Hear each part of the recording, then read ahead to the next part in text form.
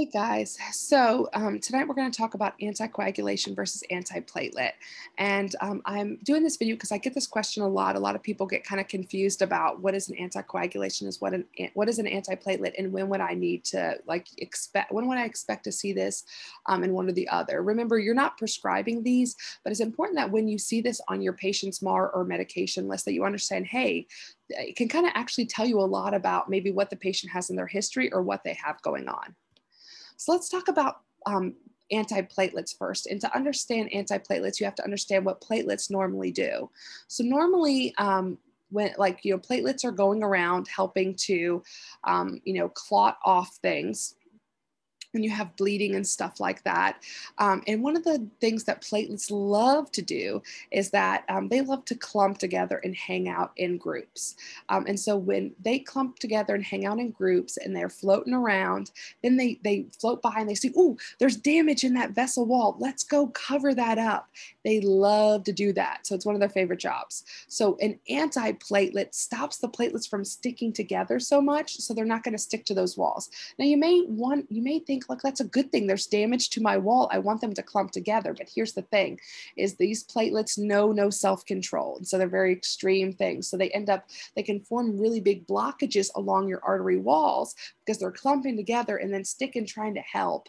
But really they're just making things worse.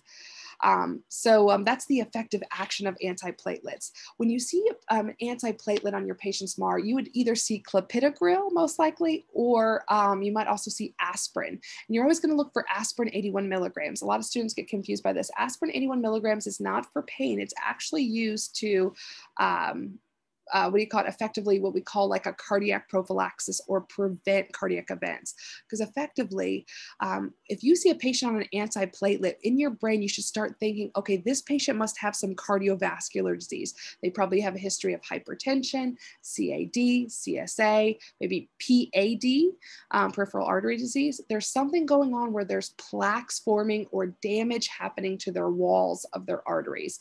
Because you know we give antiplatelets because we're pretty much expecting there to be damage there on those walls. And so we know platelets are going to go for that damage and try to help and make things worse. So we give this prophylactically. In other words, patients take this daily. Um, it is not an anticoagulant, it is not a blood thinner. It just stops them from um, their platelets from clumping together uh, and then adhering to the vessel wall and creating a, a pretty much like setting up a scene for blood clot to attach and create a huge blockage. So we're really just trying to prevent risk for like heart attack and stroke and other cardiac events like that. Um, with this, your biggest concern is bleeding. One of the cool things about antiplatelets is they really don't require any therapeutic monitoring. Um, we may check a platelet count, but this is not something that it's like cutting your platelets in half or decreasing your platelets. It's just stopping them from sticking together.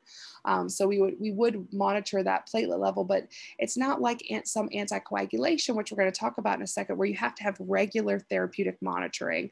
Um, like you have to go in and make sure that it's in the right level. So there's also anticoagulants. Um, and so again, to kind of know how normally it works, normally there's this cascade and I call it the cool coagulation cascade because I'm cool like that. Um, but effectively there's this like whole like kind of circle or chain of events that has to happen for a clot to form. And anticoagulants go in there and they block part of that so it takes longer or you're less likely to form a clot. Now we don't want to completely block your ability to form a clot at all because if we did that, you'd be bleeding to death. But we want to decrease your risk or decrease the time it takes you to form a clot. Um, these do not bust clots, they do not break up clots that are already formed, and they only stop you from forming new clots. Um, so, you know, the, when you're, you know, I told you before that for the patient, like for antiplatelets, you should think, hey, this patient has something wrong with their blood vessel lining, like hypertension, PAD, CAD, something like that. There's something wrong cardiovascular wise. With a patient, if you see an anticoagulant on a patient, they don't necessarily have cardiovascular disease, but here's some of the top things. They may be maybe already have a blood clot and we're trying to prevent more from forming. So they may have a DVT or a PE. They could be an atrial fibrillation. Um, or they could just be a high risk patient in the hospital. Maybe they're um, bedridden in the hospital. Maybe they recently had surgery, especially bone surgeries, put you more at risk for getting a blood clot. So um, you really like when you see an anticoagulant, instead of sitting there and um, uh, what do you call it? Um, you know, like uh, trying to like, you know, figure out like, oh, why is this person on it? Think these are going to be the common things. So you kind of like kind of do your little check marks in your head and be like, hey, are they uh, immobile? Are they in the hospital? Have they had surgery? Um, do they maybe already have a blood clot? Um, do they have a history of atrial fibrillation or one of those abnormal rhythms? So those are the questions you should be answering yourself. And this one as well also has a biggest concern for bleeding. Um, like I brought up, this one is different. Um, you know, like I said, with platelet, um, antiplatelets, we're really just trying to stop those cardiac events.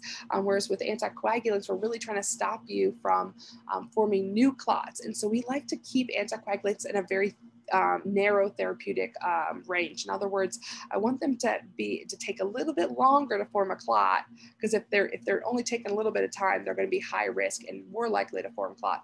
But I also, like I said, I don't want to block all clotting. Then I'm on this end of the spectrum and the patient's bleeding to death. So um, I want to stay in that nice little middle ground um, and keep in that therapeutic range. And I have a couple videos over the therapeutic monitoring and stuff like that um, with anticoagulation if you want to watch that. Um, but anticoagulants and antiplatelets obviously differ in multiple ways. While they have a lot of the same risk factors, anticoagulants are stronger.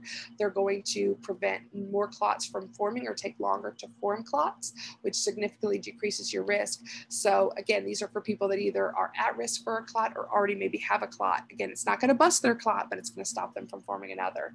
Um, whereas when you sit there and you think antiplatelet, you should be thinking, okay, this is the patient that has cardiovascular disease. They're at risk for problems. They don't have problems yet. I'm giving this to kind of decrease those platelets from sticking together um, and creating a battleground for more clots to attach and cause problems. So hopefully that helps. When you're thinking about these, just think about, okay, what um, do I need to check before um, giving these medications? Start thinking about, okay, is there any monitoring that I need to check? Is there any labs that I need to check? Um, you know, for both of them, they're going to need good teaching about bleeding precautions and things like that. But you want to really look big picture and see, like, okay, how does this connect to their disease process? How is this going to help this patient?